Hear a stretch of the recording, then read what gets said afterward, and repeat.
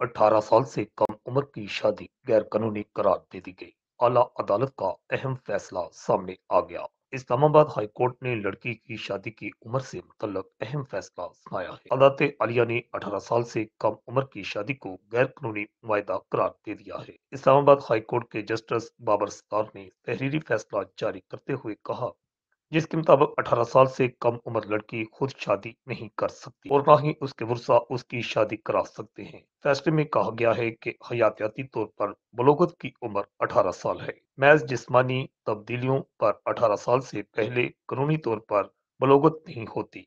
अदालत ने मुस्लिम families laws ordinance में वजाहत न होने का मामला काबीना डिवीज़न और पार्लियामेंट के सामने रखने की हदायत की है।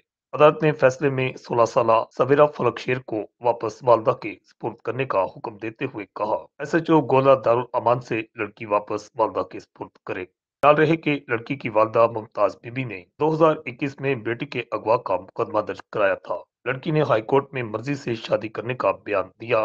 लड़की की वालदा मुमताज़ बीबी ने बेटी की बादशाबी के लिए अदालत में दरखास्त दायर की थी, जिस पर यह फैसला सुनाया गया है। Report Al Hijaz news, Islamabad.